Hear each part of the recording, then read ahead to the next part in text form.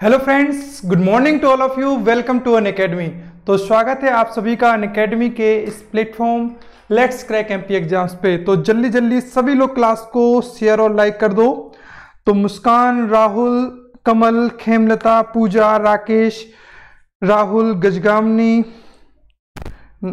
और कमल, लेखराज, अशोक, परी, ज्योति, जानकी, ऋषिका संजना मोहित, उदित, परी अतुल, आशीष, शिवेंद्र, प्रदीप, प्रियंका, आनंद, लक्ष्मी, प्रज्ञा, आप सभी को बहुत बहुत गुड मॉर्निंग और जो बच्चे भी आते, जुड़ते जा रहे हैं, उन सभी को भी वेरी वेरी गुड मॉर्निंग तो जल्दी से सभी लोग क्लास को शेयर कर दो। सभी लोग क्लास को जल्दी जल्दी शेयर कर दो ताकि बाकी बच्चे भी आ जाए क्लास में।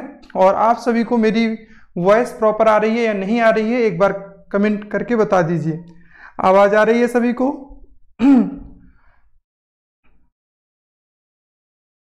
आपको वॉइस क्लियर हो रही है? चलिए, आनंद लिख रहे हैं हाँ सभी लोग यस लगा दीजिए अगर क्लियर है वॉइस तो। और आगे बढ़ते हैं तो दोस्तों, आज है तीन तारीख तो तीन तारीख का जो भी करंट अफेयर्स होगा हमारा मध्य प्रदेश का और हमारे नेशनल और इंटरनेशनल से रिलेटेड तो उस पर आज हम डिस्कशन करेंगे, ठीक है? तो नेशनल इंटरनेशनल और हमारे प्यारे मध्य प्रदेश का जो भी करंट अफेयर्स होगा, उस पर आज डिस्कशन करेंगे। तो दोस्तों, ये है कंप्लीट मध्य प्रदेश की अन अकेडमी की टीम जो आपको एम पी और एमपी के अन्य सभी एग्ज़ाम्स की तैयारी प्रिपरेशन करवाती है, ठीक है? तो दोस्तों, इसके अलावा आप अगर अन अकेडमी से जुड़ते हैं तो आपको देखिए, दो प्रकार की क्लासेस एक फ्री क्लासेस मिलती है प्लस क्लासेस मिलती हैं। फ्री क्लासेस में क्या बेनिफिट है और प्लस में क्या बेनिफिट है, वो देख लीजिए। फ्री में है लिमिटेड सिलेबस कवर कराया जाता है occasionally practice set occasionally PDF और लिमिटेड डाउट क्लियरिंग सेशन चलते हैं। लेकिन वहीं आप लेते हैं अगर प्लस सब्सक्रिप्शन तो प्लस सब्सक्रिप्शन में आपको मिलता है complete syllabus unlimited practice set unlimited PDF और सभी डाउट टॉप एजुकेटर के द्वारा क्लियर कराए जाते हैं। तो ऑब्वियस सी बात है दोस्तों, क्योंकि प्लस क्लस जो कोर्स होते हैं, वो आपके एग्ज़ाम के अकॉर्डिंग होते हैं। अगर आप एमपीपीएससी एग्ज़ाम दे रहे हो तो एमपीपीएससी का कोर्स ज्वाइन कीजिए। एसआई का दे रहे हो तो एसआई का ज्वाइन कीजिए। तो उसमें कंप्लीट जो है, वो सिलेबस पेपर के अकॉर्डिंग करवाया जाता है, ठीक है? तो ये चीज़ याद रखना। जल्दी से सभी लोग शेयर करते जाओ क्लास को।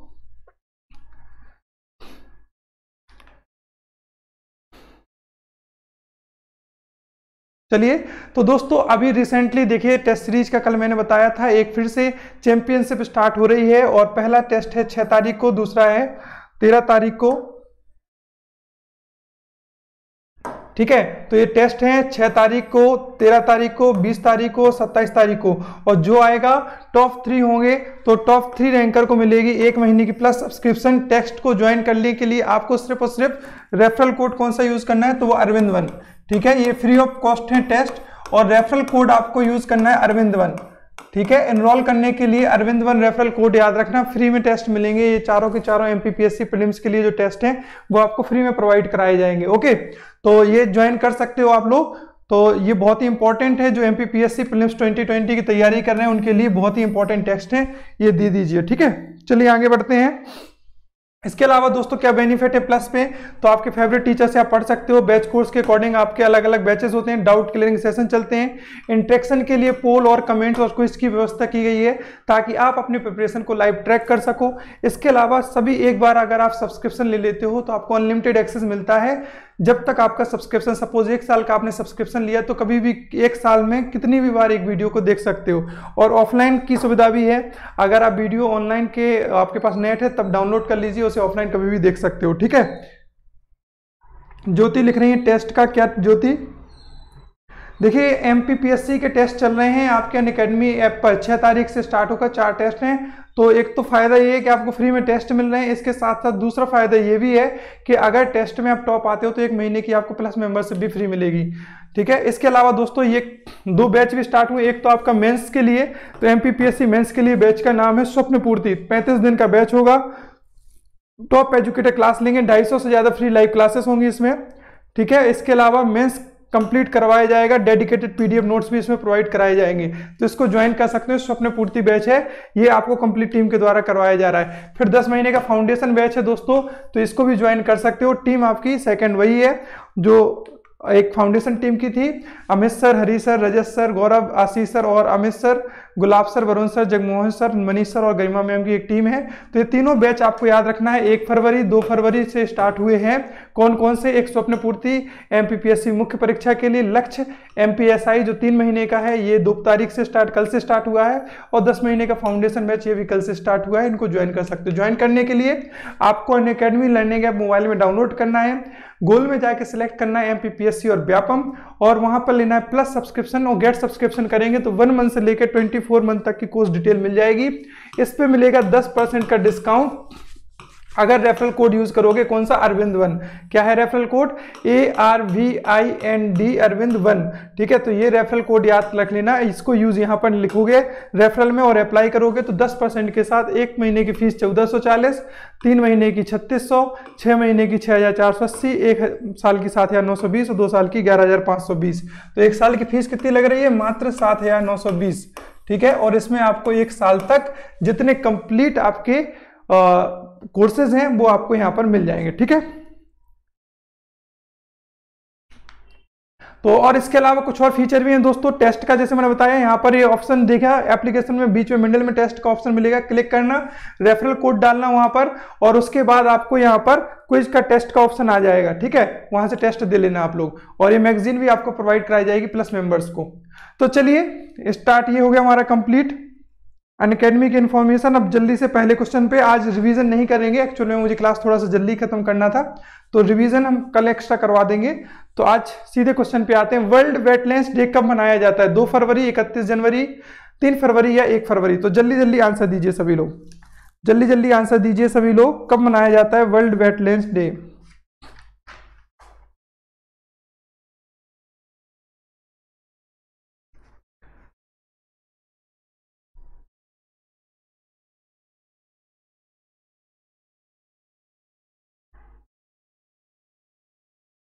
आंसर दीजिए जल्दी लोग जल्दी से सभी लोग क्लास को शेयर कर दो।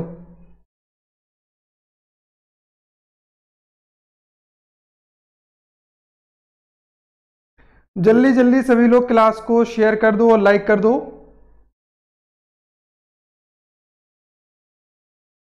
तो बहुत से लोग लिख रहे हैं दो फरवरी दैट इज़ राइट आंसर तो बिल्कुल सही उत्तर है दो फरवरी। तो जिन्होंने भी आंसर दिया है, दो फरवरी उनका उत्तर एकदम सही है। तो दो फरवरी को मनाया जाता है वर्ल्ड वेटलैंड डे ठीक है?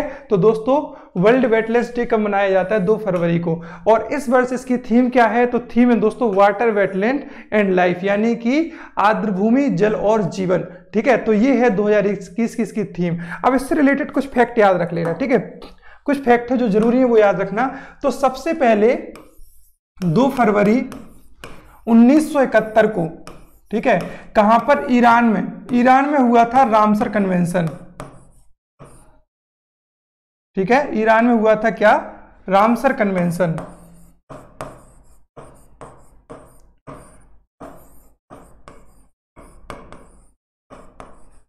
तो दोस्तों, ये जो रामसर कन्वेंशन हुआ था, ये हुआ था किस चीज़ के लिए? ये हुआ था आर्द्र भूमि संरक्षण के लिए, ठीक है?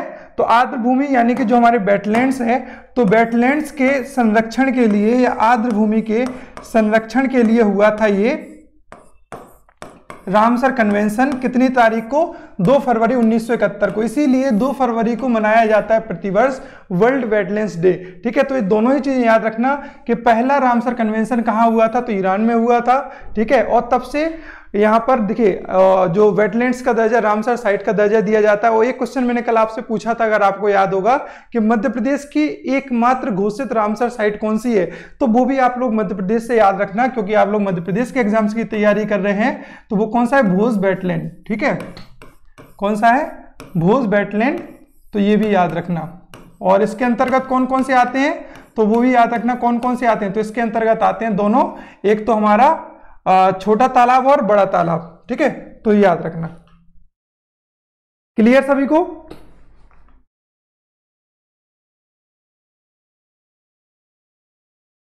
हाँ भोपाल में है भोज बैटलैंड, जिसमें छोटा और बड़ा दोनों तालाब आते हैं। वो मध्य प्रदेश की एकमात्र घोषित रामसर साइट है, ये चीज़ भी याद रखना, ठीक है? चलिए तो आगे बढ़ते हैं। सैयद मुश्ताक अली ट्रॉफी 2020-21 में कौन सी टीम विजेता रही? तो आपको जनरली बताना है कि जो सैयद मुश्ताक अली 2020-21 है वह किसने जीती? और इससे रिलेटेड एक चीज़ और भी सुन लो सभी लोग कि जब से रणजी ट्रॉफी स्टार्ट हुई है तो पहली बार रणजी ट्रॉफी को कैंसिल किया गया है। इस वर्ष यानी कि 2021 में रणजी ट्रॉफी का आयोजन नहीं किया गया और उसके अलावा किसका हुआ है? तो सैयद मुश्ताक ट्रॉफी का हुआ है। तो ये चीज़ भी याद रखना, अगर आपसे पूछा जाए कि रणजी ट्रॉफी कितने बार आयोजित नहीं की गई है तो ऐसा पहली बार हुआ है जब से रणजी ट्रॉफी स्टार्ट हुई है कि उसका आयोजन नहीं किया गया है। तो बताइए, सैयद मुश्ताक अली ट्रॉफी किसने जीती है? और ये क्वेश्चन बहुत पूछा जाता है कि सैयद मुश्ताक अली किस गेम से संबंधित है? यह जो टूर्नामेंट है वो किससे संबंधित है? तो क्रिकेट से संबंधित है, ये भी याद रखना।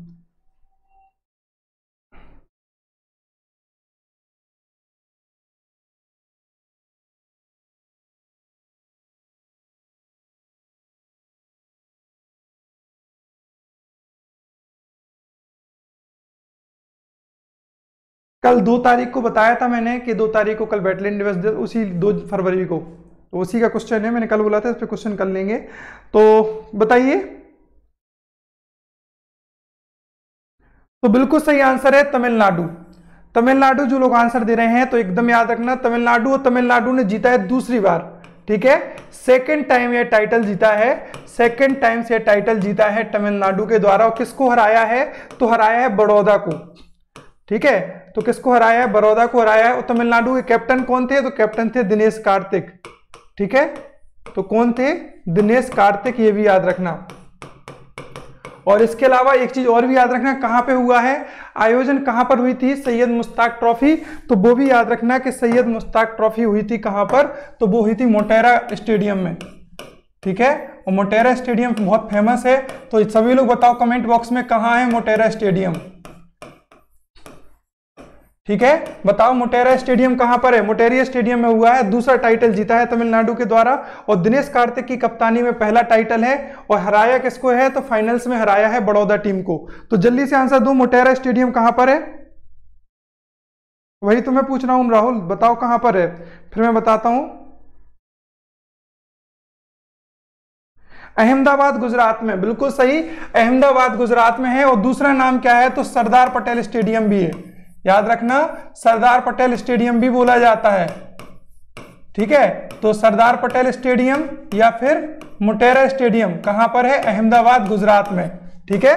सभी लोगों क्लियर चलिए, आगे बढ़ते हैं तो ये देखिए, टाइम्स नाउ की न्यूज़ है Tamil Nadu crown Syed Mushtaq Ali trophy 2020-21 championship. तो दोस्तों सारी चीज़ें याद रखना वन बाई वन के जो सैयद मुश्ताक ट्रॉफी है, किस गेम से रिलेटेड है तो क्रिकेट से रिलेटेड है। 2020-21 का टाइटल किसने जीता? तमिलनाडु ने जीता। किसको हराया? तो बड़ौदा को हराया। कहाँ पर आयोजन हुआ था? तो मोटेरा स्टेडियम गुजरात में, अहमदाबाद के, और तमिलनाडु का कौन सा टाइटल है? तो दूसरा टाइटल है, ये भी याद रखना। चलिए नेक्स्ट आगे बढ़ते हैं। Mahindra and Mahindra financial service. पूछ रहे हैं, फाइनेंशियल सर्विस के एमडी सीईओ के रूप में किसे नियुक्त किया गया है? सुरेश कुमार, अनीश शाह, संजय श्रीवास्तव या इनमें से कोई नहीं? तो जल्दी से आंसर दीजिए और सभी लोग क्लास को लाइक, शेयर करो। और सभी लोग क्लास को लाइक, शेयर करने के साथ साथ क्लास को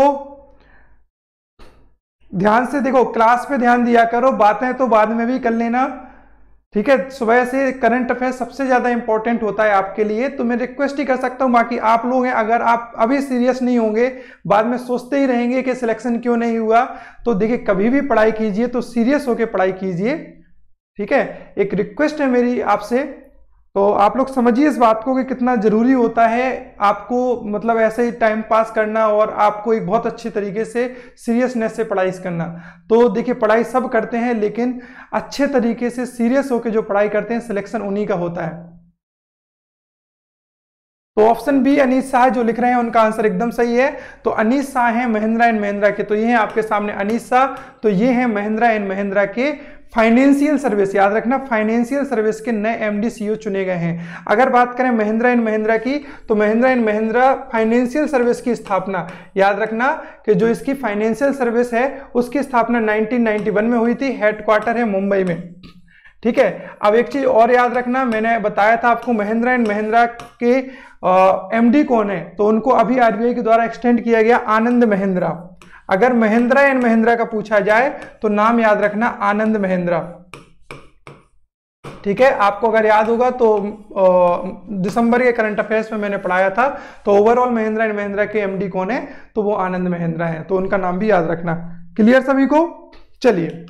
नेक्स्ट है उत्तराखंड के किस ज़िले में हिमालय के शिवालिक रेंज में पाए जाने वाले वृक्षों की 210 से अधिक प्रजातियों के संरक्षण के लिए शिवालिक अर्बोरिटम नामक एक पहला वनस्पति उद्यान का उद्घाटन किया गया। तो आपको जनरली ये बताना है कि उत्तराखंड का कौन सा जिला है जहाँ पर शिवालिक अर्बोरिटम, ठीक है, नाम है शिवालिक अर्बोरिटम ये क्या है? एक वनस्पति उद्यान यानी कि बोटेनिकल गार्डन है।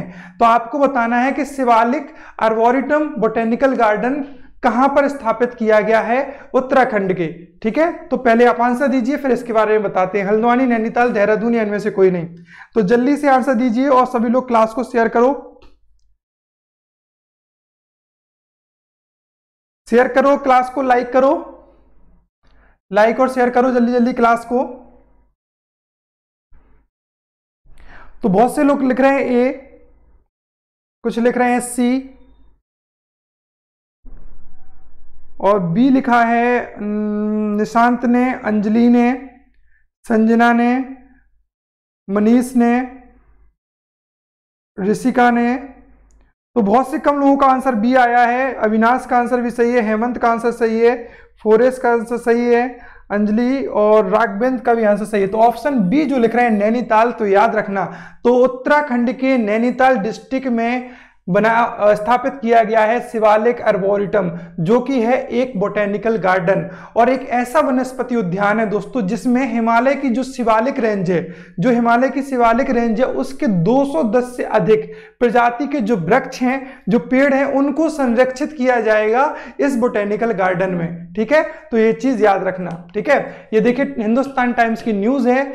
Arboretum inaugurated in Nainital showcase diversity of Shivalik hills तो कौन से? तो इससे अलग अलग चीज़ याद रखना। अगर पूछा जाए कि शिवाल जो शिवालिक अर्बोरिटम है, इसमें कौन सी हिल्स के? तो याद रखना शिवालिक हिल्स के। ठीक है? शिवालिक रेंज के। कितनी प्रजाति का पूछा जाए तो वो भी याद रखना। 210 प्रजातियों के वृक्षों को संरक्षित किया जाएगा। और कहाँ पर किया जाएगा? तो नैनीताल डिस्ट्रिक्ट में, उत्तराखंड में। तो ये चीज़ भी याद रखना। ठीक है? आगे बढ़ते हैं। तो दोस्तों, उससे आगे बढ़ने से पहले देख लीजिए उत्तराखंड। तो उत्तराखंड की कैपिटल ग्रीष्म जो समर कैपिटल है तो वो है गैरसैन और जो विंटर है तो वो है देहरादून। सीएम है यहाँ पर त्रिवेंद्र सिंह रावत, गवर्नर है बेबी रानी मौर्य, राज्यसभा सीटें हैं तीन, लोकसभा सीटें हैं पाँच और हाईकोर्ट कौन सा है? तो हाईकोर्ट है नैनीताल डिस्ट्रिक्ट में, ठीक है? तो ये चीज़ भी याद रखना। चलिए, आगे बढ़ते हैं। तो हाल ही में किस देश की सेना द्वारा तख्ता पलट किया गया है? एक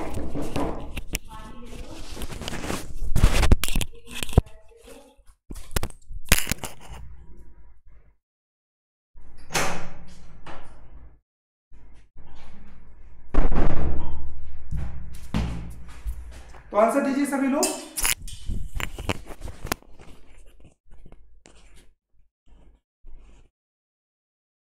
नहीं स्पीसीज देखिए शांतनु लिख रहे हैं स्पीसीज भी पूछ सकता है, पूछ सकता है बट लेकिन इतने सारे हैं 210 वृक्षों के अलग अलग हैं तो जहाँ तक नहीं पूछेगा अगर पूछेगा भी तो मैंने आपको पीडीएफ में वो डिटेल दे रखी है, ठीक है?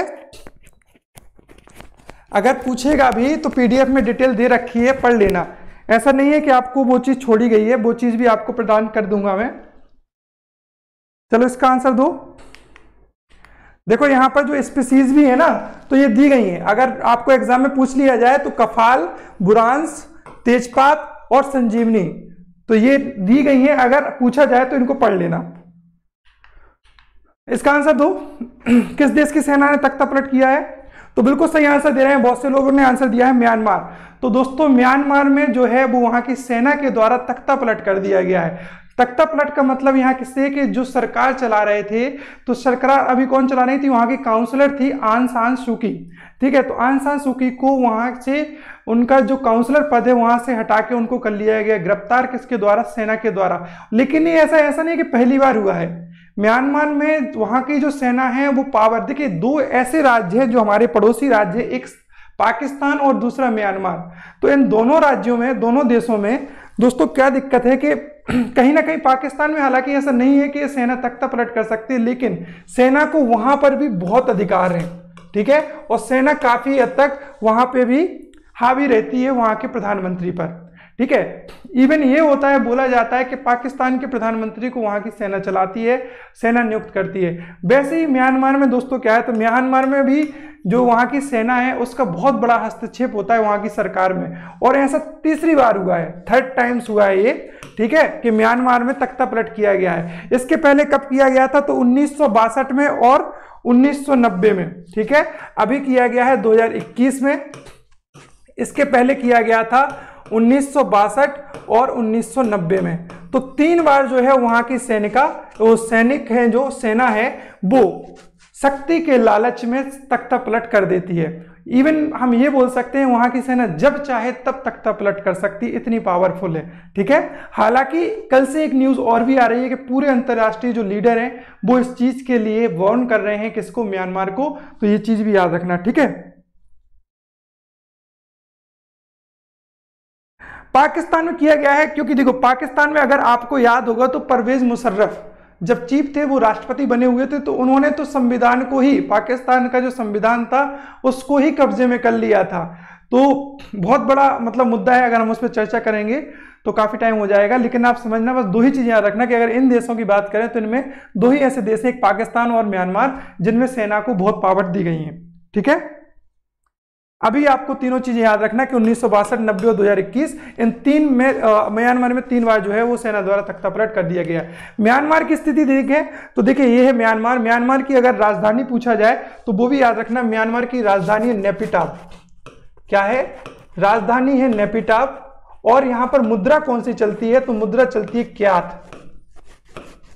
तो ये चीज़ें ज़रूर याद रखना कि नेपिटाप यहाँ की राजधानी है क्या मुद्रा चलती है और एक चीज़ और पूछा जाता है कि म्यांमार से कौन कौन से राज्य इंडिया को टच करते हैं तो वो भी याद कर लेना, ठीक है? तो देखिए, ये आपको म्यांमार दिख रहा है और यहाँ से इंडिया, ये हमारा इंडिया तो ये पड़ोसी राज्य है दोस्तों हमारा तो इसको भी याद रखना, ठीक है?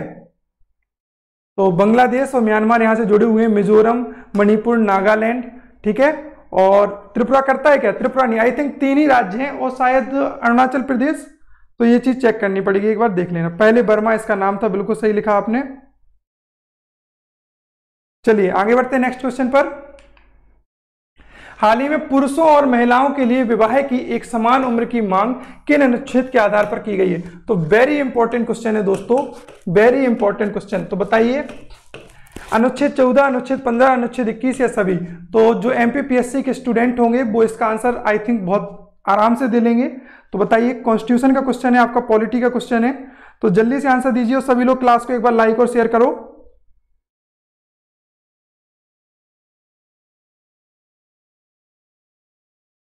जल्दी से क्लास को एक बार लाइक कर दो शेयर कर दो। क्वेश्चन नंबर सिक्स का आंसर दो सभी लोग। सी लिख रहे हैं डी लिख रहे हैं ए लिख रहे हैं ऑल लिख रहे हैं। तो बिल्कुल सही आंसर है जो लिख रहे हैं सभी। तो दोस्तों याद रखना कि सामाजिक न्याय की स्वतंत्रता देखिए ये कौन से हमारे ये हैं हमारे मूल अधिकार के पार्ट्स। तो अनुच्छेद 14 अनुच्छेद 15 और अनुच्छेद 21 इन तीनों के तहत यह हवाला दिया गया है। पहले क्वेश्चन को समझिए क्वेश्चन क्या कह रहा है? कि पुरुषों और महिलाओं के लिए विवाह की एक समान उम्र। एक जनहित याचिका जारी की गई आ, पहले कौन से? हाईकोर्ट में। तो हाईकोर्ट में यह जारी की गई कि क्यों ऐसा माना जा रहा है कि जो महिलाओं की उम्र है वो 18 साल और पुरुषों की उम्र 21 साल। साइंटिफिक ऐसा कोई रीजन नहीं है कि जिसकी वजह से दोनों लोगों की उम्र में, महिलाओं और पुरुषों की उम्र में ये अंतर रखा जाए। कोई भी ऐसा साइंटिफिक रीजन अभी तक सामने नहीं आया है कि महिला और पुरुष की उम्र में, शादी की उम्र में डिफरेंस रखा जाए। तो फिर ये डिफरेंस क्यों रखा गया है? ये मौलिक अधिकार का हनन करता है। तो हाईकोर्ट में जब ये सुनवाई के लिए याचिका दायर की गई तो वहाँ पर इस मुद्दे को सीरियसली लिया गया। और उसके बाद फिर इस पर सुप्रीम कोर्ट ने भी वो लिया संज्ञान लिया uniform marriage age for men and women Supreme Court issue notice on plea to transfer petition on High Court तो हाई कोर्ट की जो ये पिटिशन थी, ये सुप्रीम कोर्ट को ट्रांसफ़र कर दी गई और सुप्रीम कोर्ट ने भी इसमें हिस्सा लिया। तो देखिए दोस्तों, है क्या? सुप्रीम कोर्ट में पुरुषों और महिलाओं के लिए विवाह की एक समान उम्र की मांग के मामले में राजस्थान हाईकोर्ट और दिल्ली हाईकोर्ट के नोटिस। ठीक है कौन कौन से? राजस्थान और दिल्ली हाईकोर्ट के नोटिस को जारी किया गया। याचिका में क्या कहा गया था? तो याचिका में कहा गया था कि यह याचिका अनुच्छेद चौदह, पंद्रह और इक्कीस। कौन कौन से अनुच्छेद? अनुच्छेद चौदह, पंद्रह और इक्कीस की व्याख्या पर मुकदमों की बहुलता और परस्पर विरोधी विचारों से बचने के लिए दायर की गई है। और इसमें लैंगिक न्याय और समानता तो ये अनुच्छेद किसको शो करते हैं? लैंगिक न्याय और समानता के मतलब देखिए, चाहे फीमेल हो मेल हो तो किसी भी लैंगिक समाज से हो तो आपको फिर ये डिफरेंस क्यों किया गया है? इसके लिए यह याचिका जो है ज़ाहिर की गई है। जिसमें कहा गया है कि पुरुषों को इक्कीस वर्ष की आयु में विवाह करने की अनुमति है। वहीं महिलाओं को अठारह वर्ष के उम्र में विवाह की अनुमति दी गई है। याचिका में कहा गया है कि पुरुषों और महिलाओं के विवाह को निर्धारित आयु में, यह अंतर पितृसत्तात्मक रूढ़ियों के द्वारा, ठीक है? पितृसत्तात्मक जो रूढ़ियाँ हैं, विचारधाराएँ, उन पर आधारित है, जिसका कोई वैज्ञानिक समर्थन नहीं है। वास्तव में ये महिलाओं के खिलाफ असमानता है, जो पूरी तरह वैश्विक रुझानों के खिलाफ है। तो आई थिंक आप लोग समझ गए होंगे कि क्वेश्चन जो याचिका थी, वो क्या थी? तो वो याचिका दोस्तों थी जो मैंने स्टार्टिंग में ही बताया है कि जो एज ग्रुप है एज जो बीच में डिफरेंस है, वो कोई भी वैज्ञानिक समर्थन नहीं करता है। सिर्फ़ उससे जो हमारी रूढ़िवादिता है, उसके चलते ये डिफरेंस किया गया है। तो यह याचिका की गई है कि इसको हटाया जाए, ये समान किया जाए, ठीक है? चलिए, याद रखना। अच्छा क्वेश्चन था, इसलिए सभी लोग याद रखना।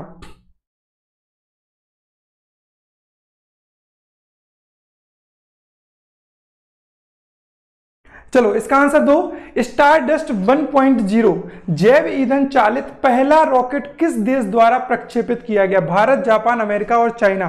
तो जल्दी से आंसर दीजिए। तो अभी हाल ही में एक देश ने किसी कंट्री के द्वारा स्टार डस्ट का जैव ईंधन के रूप में यूज़ करके रॉकेट को लॉन्च किया गया है, सफल प्रक्षेपण किया गया उसका। तो बताइए कौन सा देश है वो? जल्दी से आंसर दीजिए सभी लोग। सेवन सी लिख रहे हैं अमेरिका हेमंत, बाकी लोग भी अशोक लिख रहे हैं। ए इंडिया, जापान।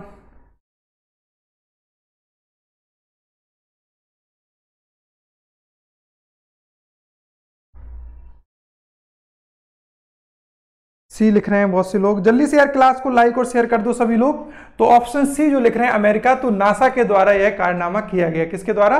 नासा के द्वारा। ठीक है? तो ये देखिए द इंडियन एक्सप्रेस की न्यूज़ है। What is Stardust 10 1.0 the first rocket to run on biofuel.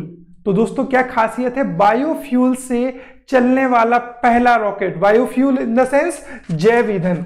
तो पहला ऐसा रॉकेट है जिसमें ईंधन के रूप में क्या यूज़ किया गया है? जैव ईंधन यानी कि बायोफ्यूल।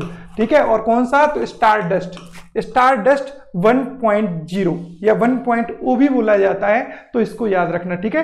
क्लियर? चलिए, आगे बढ़ते हैं।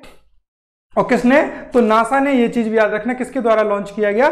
तो नासा के द्वारा इसको लॉन्च किया गया। आगे बढ़ते हैं। बजट 2021 के अनुसार कितने नए सैनिक स्कूल खोले जाएँगे?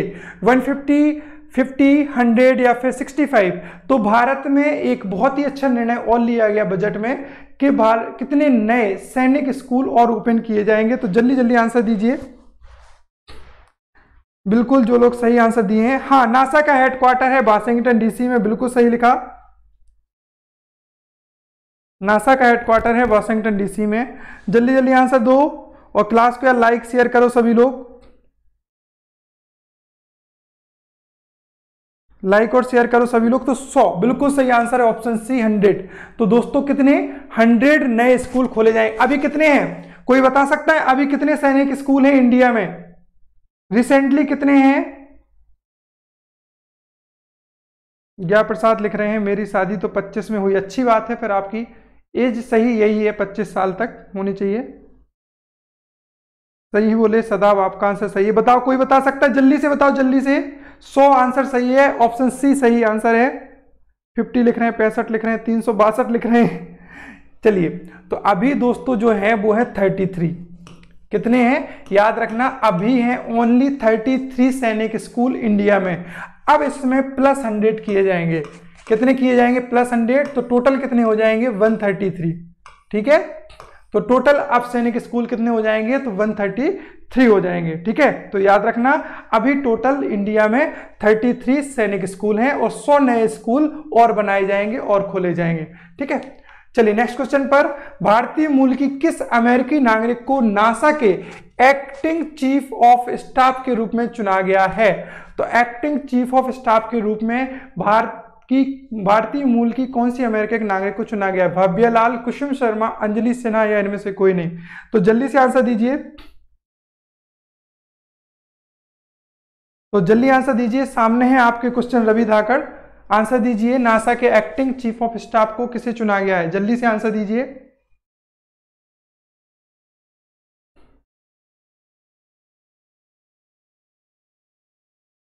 तो बिल्कुल सही आंसर लिख रहे हैं भाव्या लाल जो लोग आंसर दे रहे हैं तो भव्या लाल बनी है अभी नई चीफ ऑफ़ स्टाफ किसकी? नासा की। तो ये देखिए एक्सप्लेन की न्यूज़ इंडियन एक्सप्रेस की।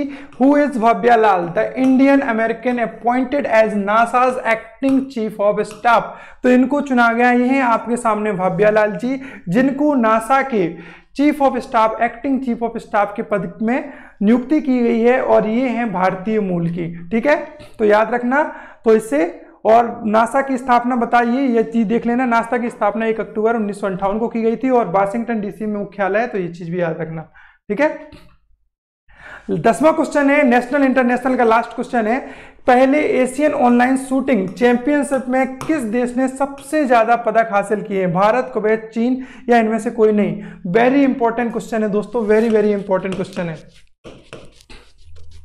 वेरी इंपॉर्टेंट क्वेश्चन है, जल्दी बताइए। तो जो पहला एशियन ऑनलाइन शूटिंग चैंपियनशिप हुई, उसमें सबसे ज़्यादा मेडल किस कंट्री ने जीते हैं? इसरो की नहीं है भाव्या लाल नासा की हैं और अमेरिकी मूल की भारत अमेरिकी मूल की भारतीय हैं। तो जल्दी से आंसर दीजिए सभी लोग, यार क्लास को लाइक करो और शेयर करो।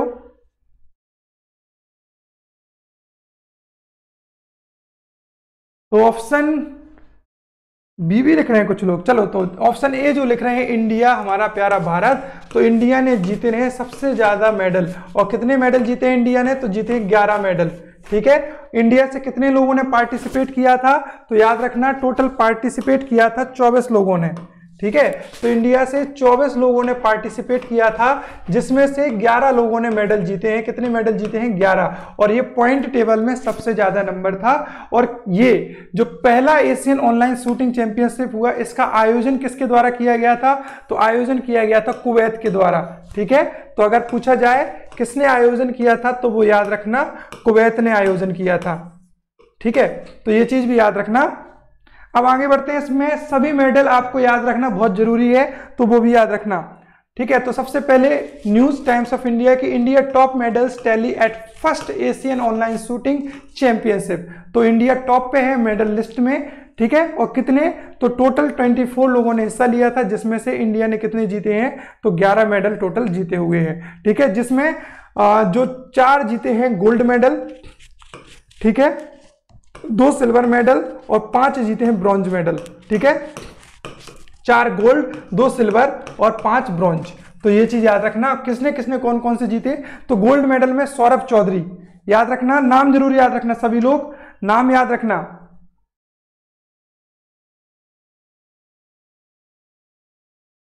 ठीक है तो नाम याद रखना, Saurabh Chaudhary gold medal 10 metre air pistol में। Divyansh Singh Panwar, men's 10 metre air rifle में। क्यान चेन्नई मेंस ट्रैप में, राजेश्वरी कुमारी वुमेन्स ट्रैप में। तो ये तीनों सॉरी चार लोग किसमें हैं? गोल्ड मेडल में। फिर आते हैं सिल्वर में तो अर्जुन और Shreyasi Singh.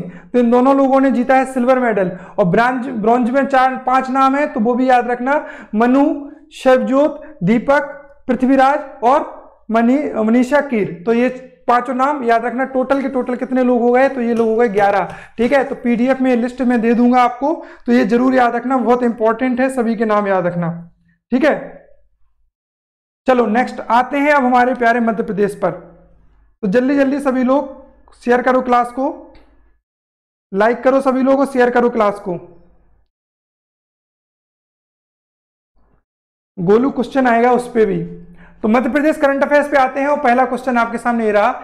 Asian online shooting championship में मध्य प्रदेश की मनीषा कीर ने कौन सा पदक हासिल किया है? वेरी इंपॉर्टेंट क्वेश्चन है दोस्तों, मध्य प्रदेश के एग्ज़ाम्स के पॉइंट ऑफ़ व्यू से। इसीलिए इस क्वेश्चन को मैंने उसके आगे सेपरेटली भी लिया है। मध्य प्रदेश में इसको इसीलिए दोबारा से लिया गया है क्योंकि ये आपके एग्ज़ाम में बहुत इंपॉर्टेंट है।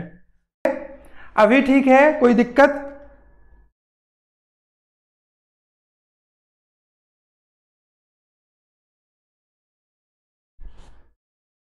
अभी ठीक है, अभी चेक कीजिए, अभी ठीक है। अभी ठीक है, जल्दी जल्दी बताइए सभी लोग, क्या अभी ठीक है, कोई प्रॉब्लम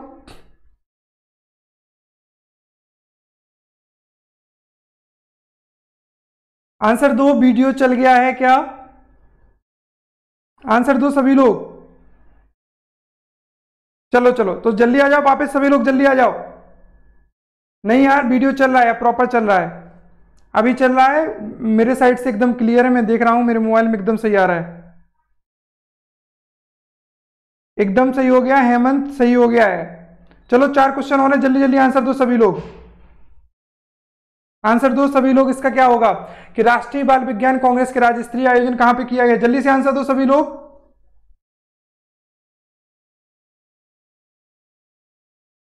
आंसर दो, कहाँ आयोजन किया गया है? Option A, B, C, D, Bhopal, Gwalior, Ujjain, Indore. तो ग्वालियर लिख रहे हैं, कुछ लोग भोपाल लिख रहे हैं तो भोपाल इज़ राइट आंसर तो कहाँ पर? भोपाल में। और इससे एक क्वेश्चन से कई सारे क्वेश्चन बनेंगे, अभी देखना है यहाँ पर।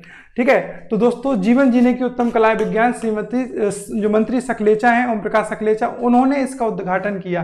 अगर पूछा जाए कि राष्ट्रीय बाल विज्ञान कांग्रेस का उद्घाटन किसके द्वारा किया गया तो ओम प्रकाश सकलेचा के द्वारा। ठीक है? अब इसका आयोजन किसके द्वारा किया गया है तो वो भी याद रखना कि उद्घाटन किया गया था तो स्वयंसेवी संस्था है साइंस सेंटर। ठीक है? तो स्वयंसेवी संस्था कौन सी? साइंस सेंटर तो साइंस सेंटर के द्वारा इसका आयोजन किया गया और किसके सहयोग से किया गया? तो वो भी याद रखना, मध्य प्रदेश राष्ट्रीय विज्ञान एवं प्रौद्योगिकी संचार परिषद नई दिल्ली। तो ये याद रखना दोनों चीज़ें, ठीक है? मध्य प्रदेश राष्ट्रीय विज्ञान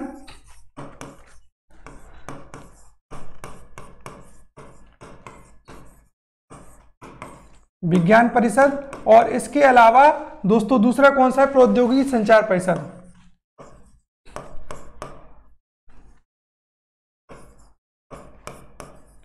प्रौद्योगिकी संचार परिषद, नई दिल्ली।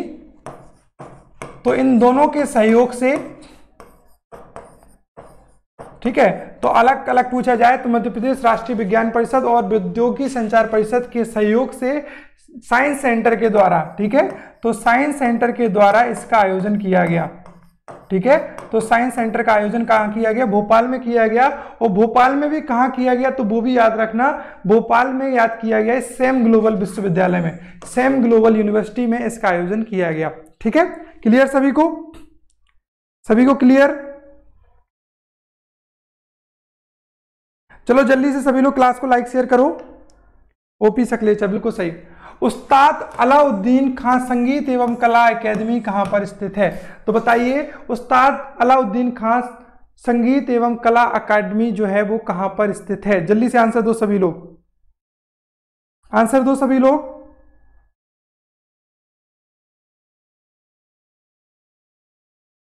सर, ऊपर वाले क्वेश्चन को दोबारा से बता देना। ठीक है, बता दूँगा, पहले इसका आंसर दो, लास्ट में बता दूँगा। जल्दी आंसर दो, भोपाल, ग्वालियर, जबलपुर, इंदौर। कहाँ पर है उस्ताद अलाउद्दीन खां एकेडमी?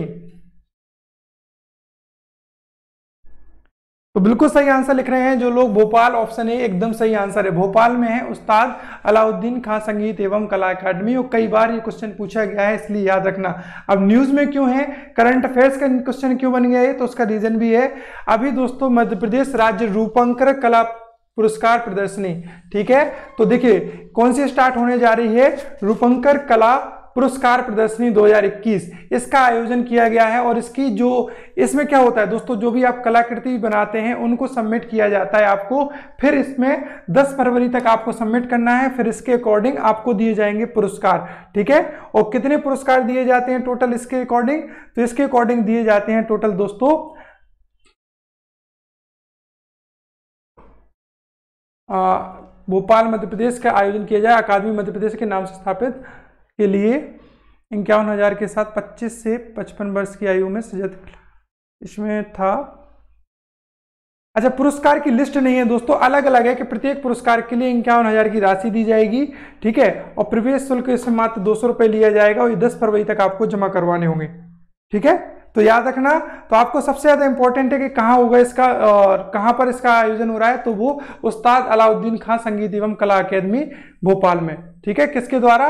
तो उस्ताद अलाउद्दीन खां संगीत एवं कला अकेदमी मध्य प्रदेश भोपाल के द्वारा इस, जो प्रदर्शनी है, इसका आयोजन किया जा रहा है, ये चीज़ याद रखना। ग्वालियर नहीं है, भोपाल में है दोस्तों, भोपाल में। Home stay portal Madhya Pradesh के किस विभाग की एक पहल है? बताइए होम स्टे पोर्टल, पर्यटन विभाग, गृह विभाग, नगरी एवं शहरी कल्याण विभाग है, इनमें से कोई नहीं। जल्दी से आंसर दीजिए।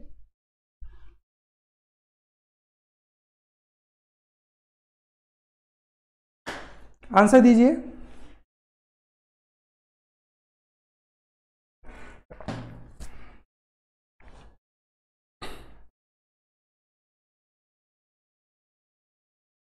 तो ये है दोस्तों पर्यटन विभाग टूरिज़्म डिपार्टमेंट की एक पहल। ठीक है? तो टूरिज़्म डिपार्टमेंट याद रखना, ऑप्शन ए, पर्यटन विभाग द्वारा होम स्टे पोर्टल का आयोजन किया गया, उद्घाटन किया गया है। तो दोस्तों होम स्टे योजनाओं ने पर्यटकों को लुभाया। तो ये देखिए होम स्टे पोर्टल का उद्घाटन और किसके द्वारा? तो ऊषा ठाकुर है हमारी पर्यटन मिनिस्टर। ठीक है? तो याद रखना, ऊषा ठाकुर के द्वारा किया गया इसका उद्घाटन। ठीक है? तो उषा ठाकुर ने किया है उद्घाटन और ये दो फरवरी से इसका स्टार्ट हो गया है। होम स्टे पोर्टल जो है, वो स्थानीय लोगों को और जो भी दूसरे टूरिस्ट हैं देश विदेश के टूरिस्ट उन सभी के लिए मध्य प्रदेश पर्यटन की एक पहल है। ठीक है? तो ये चीज़ याद रखना। नेक्स्ट क्वेश्चन है लास्ट क्वेश्चन आज की क्लास का निम्नलिखित में से किस स्थान पर सैनिक स्कूल स्थापित किया जाएगा? तो आपको बताना है, मध्य प्रदेश के किस स्थान पर सैनिक स्कूल स्थापित किया जाएगा? ये ऑप्शन है आंसर दीजिए। और दोस्तों, इसके लिए ज़मीन भी आवंटित कर दी गई है, ठीक है? तो जल्दी ही उसका निर्माण कार्य शुरू किया जाएगा। तो खजुराहो, मालनपुर, रायसेन और इनमें से कोई नहीं। तो जल्दी जल्दी आंसर दो सभी लोग। सैनिक स्कूल मध्य प्रदेश के इनमें से किस स्थान पर स्थापित किया जाएगा? और सभी लोग क्लास को लाइक करो।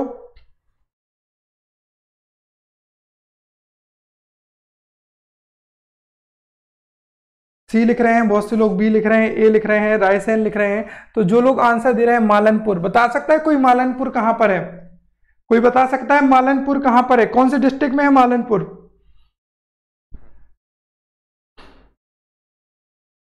मालनपुर कौन से ज़िले में है? मालनपुर सही आंसर है, कोई बताइए, जल्दी बताइए, किस ज़िले में है मालनपुर? अंजलि ने आंसर सही दिया है और काफ़ी लोगों का आंसर अशोक का आया तो भिंड में। बिल्कुल सही है तो मालनपुर है कहाँ पर? भिंड में, ठीक है? तो याद रखना। तो ये देखिए, न्यूज़ है, मालनपुर में सैनिक स्कूल के लिए भूमि आवंटित कर ली गई है और यहाँ पर कितनी? उनचास एकड़ जो है 49 एकड़ भूमि आवंटित की गई है सैनिक स्कूल के लिए, ठीक है? तो ये चीज़ याद रखना। तो दोस्तों, ये थे हमारे टोटल हम पंद्रह question Madhya Pradesh current affairs national और इंटरनेशनल के लिए। कल क्वेश्चन पूछा था कोविड वुमेन वॉरियर्स का किसे सम्मानित किया गया है? तो नाजरा खान को सम्मानित किया गया है कोविड वुमेन वॉरियर के सम्मान से। मध्य प्रदेश की है नाजरा खान। अब है क्वेश्चन मध्य प्रदेश का एकमात्र घोषित रामसर साइट कौन सा है? तो इनमें से आपको आंसर देना है कमेंट बॉक्स में। ठीक है तो इसका आंसर सभी लोग बताइए कमेंट बॉक्स में। और इसका आंसर मैं आपको कल बताऊँगा और जल्दी से एक बार क्विक रिविजन करते हैं। जल्दी से जो लोग लेट आए हैं, उनके लिए क्विक रिवीजन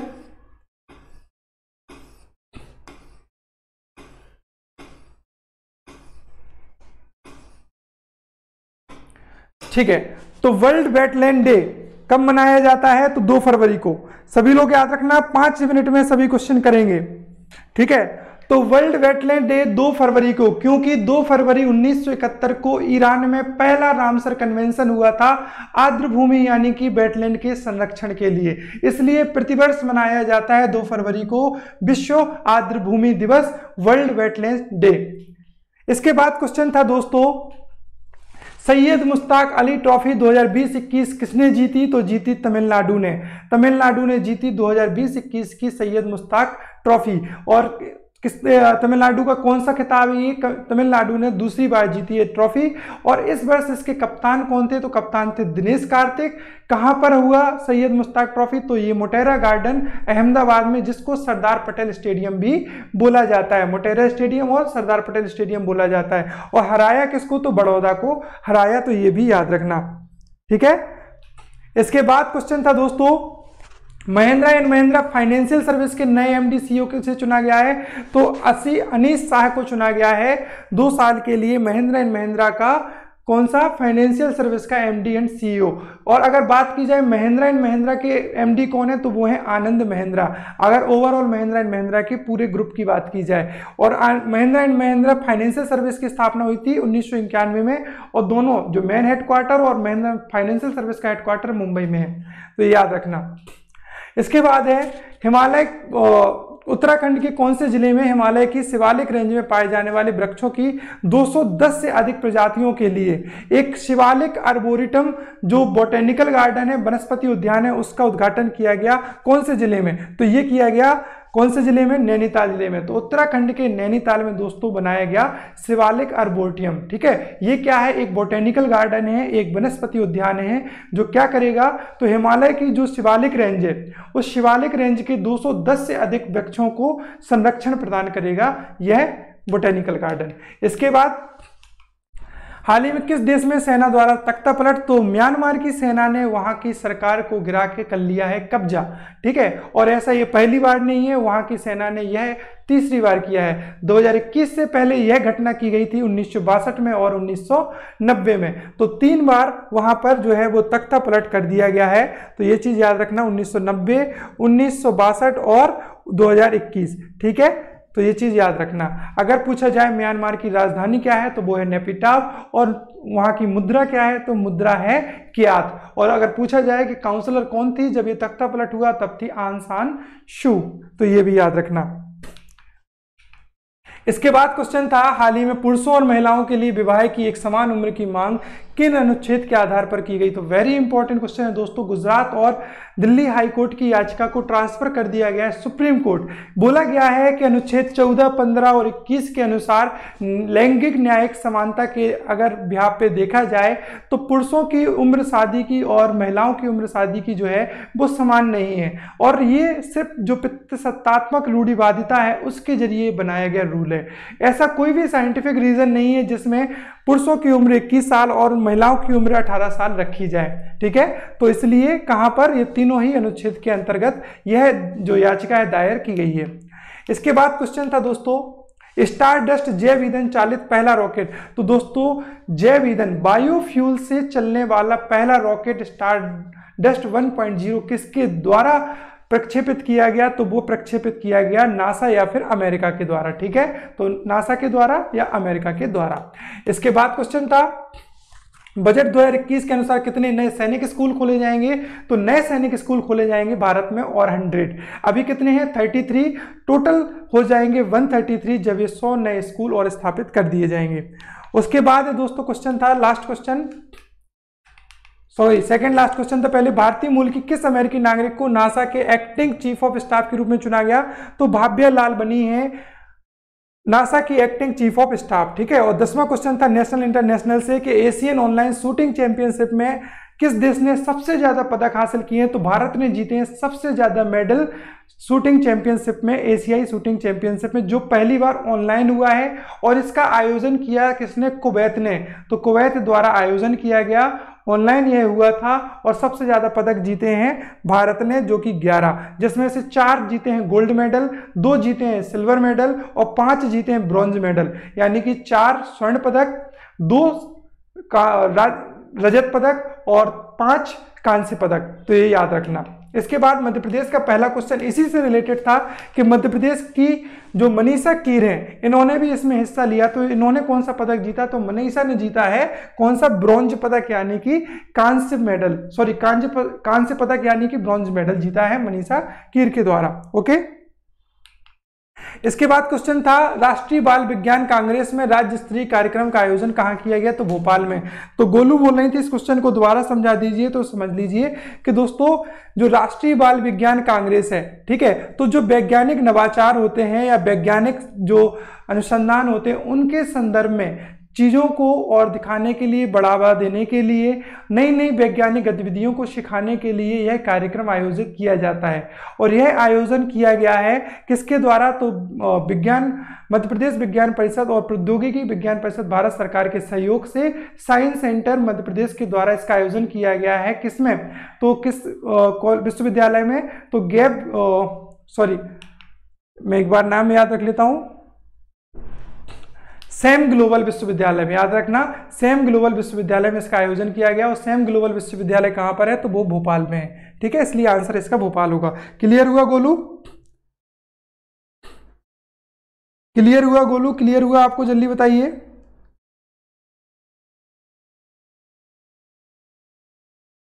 ये क्वेश्चन क्लियर हुआ, फिर आगे बढ़ते हैं।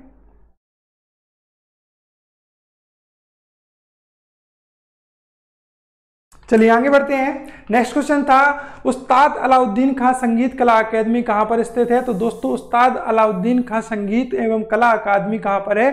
तो ये है भोपाल में। और ये क्यों चर्चा में है? तो यहाँ अभी रिसेंटली स्टार्ट की गई है रूपंकर कला पुरस्कार प्रदर्शनी 2020-21 तो अगर पूछा जाए, रूपंकर कला प्रदर्शनी 2021 बीस 2020-21 किसके द्वारा आयोजित की गई? तो वो आयोजित की गई है उस्ताद अलाउद्दीन खां संगीत एवं कला अकेदमी भोपाल के द्वारा। तो दोनों चीज़ें याद रखना, अगर पूछा जाए कहाँ पर स्थित है तो भोपाल में स्थित है, किसके द्वारा आयोजित की गई? तो उस्ताद अलाउद्दीन खां संगीत एवं कला अकेदमी के द्वारा आयोजित की गई, ठीक है? याद रखना। चलिए नेक्स्ट क्वेश्चन था होम स्टे पोर्टल किस विभाग के द्वारा शुरू किया गया? तो पर्यटन विभाग के द्वारा 2 फरवरी को इसका उद्घाटन किया गया। उद्घाटन किया उषा ठाकुर ने, जो की है पर्यटन मंत्री। इसके बाद दोस्तों, निम्नलिखित में से किस स्थान पर सैनिक स्कूल के लिए भूमि आवंटित की गई है, कहाँ खोला जाएगा? तो भिंड ज़िले के मालनपुर में खोला जाएगा सैनिक स्कूल। इसके लिए उनचास एकड़ की जो भूमि है, वो भी आवंटित कर ली गई है। ठीक है? और कल क्वेश्चन पूछा था कि कोविड विमेन वॉरियर का अवार्ड से किसे सम्मानित किया गया? तो नाजरा खान को सम्मानित किया गया। और आज का क्वेश्चन है, मध्य प्रदेश का एकमात्र घोषित रामसर साइट कौन सा है? तो ये चार ऑप्शन है। आंसर दीजिए कमेंट बॉक्स में। कल मैं इसका आंसर बताऊँगा। ये दो लिंक मिलेंगे आपको पीडीएफ में। ऊपर वाली लिंक पर क्लिक करके आप वीडियो को कभी भी देख सकते हो। और नीचे वाली लिंक पर क्लिक करके आप अन अकेडमी पर मुझे फॉलो कर सकते हो। तो ये चीज़ भी कर लीजिएगा। तो चलिए आते हैं आपके डाउट्स पर। किसी के क्या क्वेश्चन है? अच्छा सभी लोग बोल रहे हैं, सर ऑनलाइन शूटिंग कैसे हुई होगी? बहुत सारे वीडियो पड़े हुए हैं, देखिए। अभी दिख जाएँगे, अब मैं यहाँ पर अभी नहीं दिखा सकता आपको। आप लोग देखना, आपको दिख जाएगा ऑनलाइन शूटिंग किस तरीके से हुई है। अंजलि क्लास के बाद अभी तुरंत देखना यूट्यूब पे। Online shooting Asian online shooting देखना ऑनलाइन शूटिंग चैंपियनशिप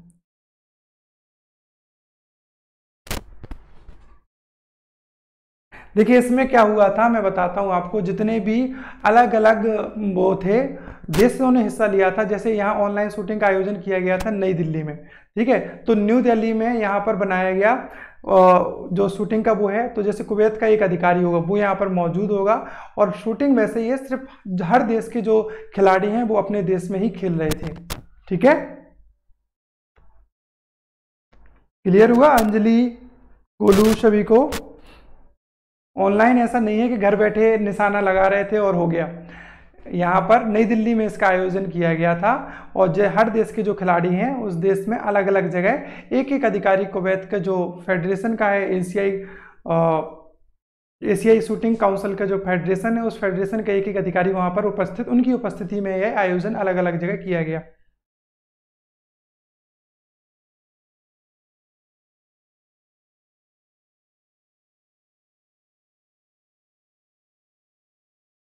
हाँ ऋषिका कल क्लास हुई थी, कल क्लास बिल्कुल हुई थी और कल हमने डाइजेस्टिव सिस्टम खत्म कर लिया और आज पढ़ेंगे हम श्वसन तंत्र यानी कि रेस्पिरेटरी सिस्टम। तो रेस्पिरेटरी सिस्टम पढ़ेंगे आज रात को नौ बजे। आज रात को नौ बजे पढ़ेंगे रेस्पिरेटरी सिस्टम। ठीक है?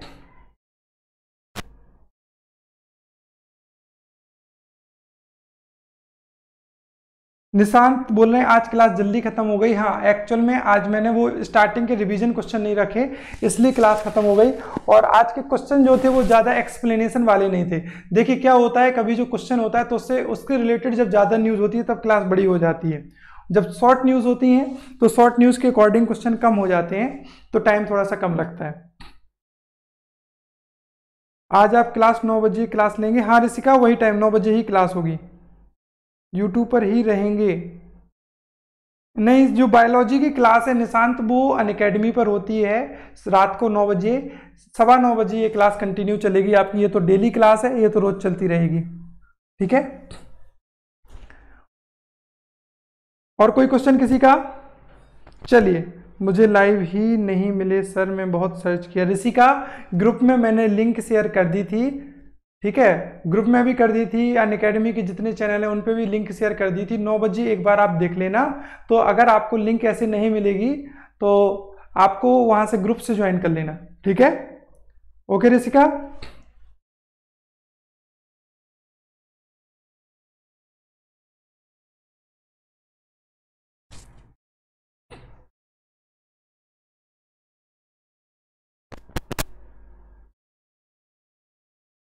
वंदना ज्वाइन कर लीजिए, ऋषिका आप भी ज्वाइन कर लीजिए।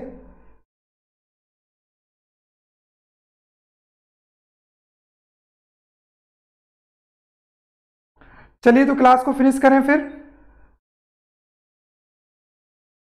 वंदना कोई दिक्कत नहीं है पीडीएफ आपको मिल जाएगी, आप वहाँ से पढ़ लेना। क्लास को कल मैं रिवीजन भी करा दूँगा स्टार्टिंग पाँच मिनट में रिवीजन करा दूँगा फिर से।